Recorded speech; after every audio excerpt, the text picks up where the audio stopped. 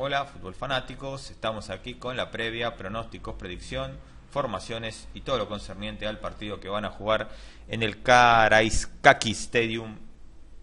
Grecia recibiendo a Chipre por la segunda fase, segunda fecha de la eliminatoria.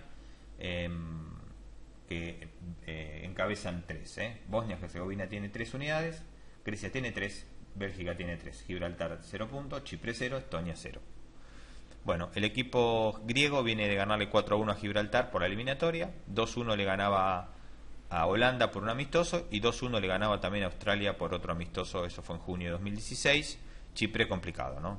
Cuatro derrotas consecutivas, por la eliminatoria 3-0 frente a Bélgica de local, 2-1 frente a Serbia con un amistoso, mayo de 2016, y en mayo de 2016 perdió 1-0 con Ucrania. Los dos partidos que han jugado entre sí, amistosos en 2008 y 2002, 2-0 ganaba en 2008 Grecia y 3-1 ganaba también Grecia en 2002. Eh, Por eso eh, no, le va a ser sencillo a Chipre jugar con Grecia, ¿no? Así que vamos a ir un poco a las alineaciones. Grecia va a ir con Carnesis como en portería, un 4-2-3-1.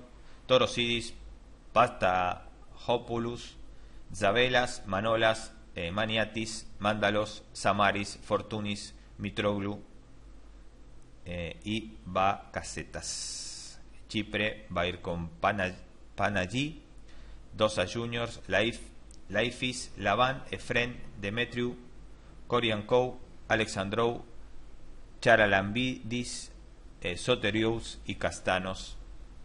Eh, bueno, el técnico de Grecia es Skive y el del equipo de Chipre va a ir su técnico es Cristo Foro. Em,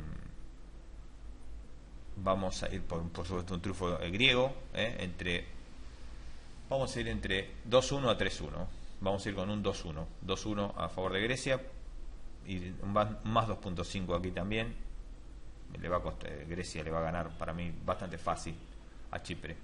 ¿eh? Siempre le ganó los dos partidos que han jugado y, y viene de, derrota en tras derrota el equipo chipriota.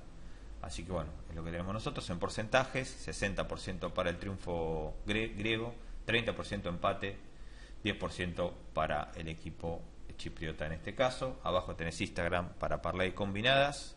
No te olvides de ayudar por el YouTube, como siempre pedimos grupo de Facebook para ahí tenés podés debatir y charlar y eh, debatir y con, tomar información de los demás los más de 5000 amigos que están ahí y después tenés el Facebook personal para agregarte y conversar conmigo de algún tema que quieras. Nada más, gran abrazo de gol para todos.